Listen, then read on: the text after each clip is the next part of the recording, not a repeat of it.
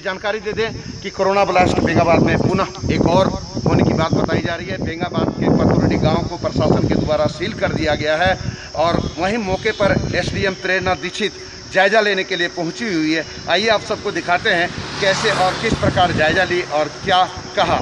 आइए हम उससे पहले बात करते हैं कांग्रेस के युवा नेता हसनैन आलम से, जो इनके पंचायत का ही मामला है। इनसे जानते हैं कि क्या व्यवस्था की जा रही है फ़िलहाल। जी।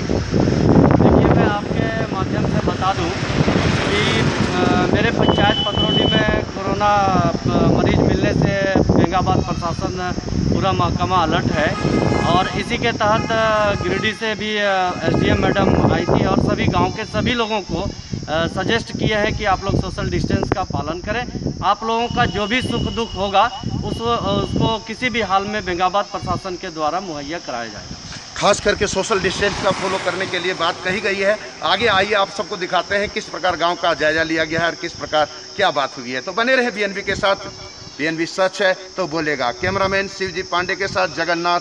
जय हो, जय हिंद। सत्य में जयते। वंदे मातरम। Thank you Bengabad corona blast. एक और कोरोना पॉजिटिव पाए जाने पर मची हड़कंप। जी बताते चलें कि बेंगाबाद प्रखंड क्षेत्र के पतुरडी गाँव में एक कोरोना पॉजिटिव पाए जाने की सूचना पाकर प्रशासन हुआ अलर्ट।